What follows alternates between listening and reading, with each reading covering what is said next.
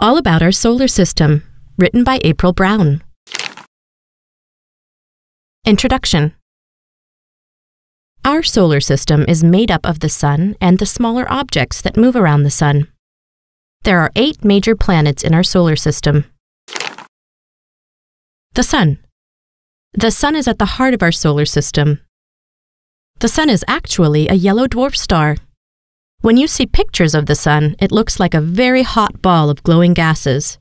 Did you know that the Sun is 4.5 billion years old? The Sun and the Earth interact. This creates the weather, climate, and seasons on Earth. The Sun is special to us on Earth, but there are billions of other stars like our Sun in the Milky Way galaxy. The Sun. The Sun is at the heart of our solar system. The Sun is actually a yellow dwarf star. Planets. People live on Earth. Earth is the third planet from the Sun. It is also the fifth largest planet in the solar system.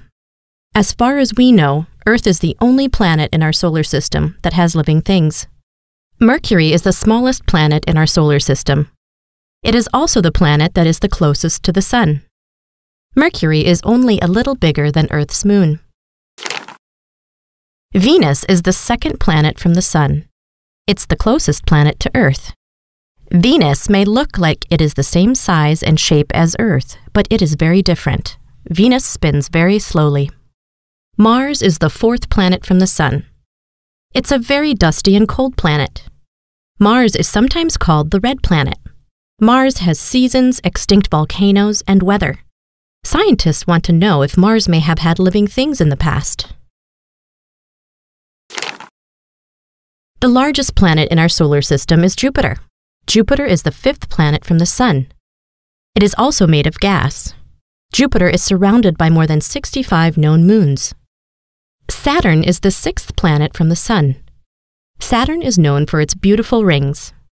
Saturn's rings are made of chunks of ice and rock. Similar to Jupiter, Saturn is mostly made of gas. Uranus is an interesting planet because it rotates on its side.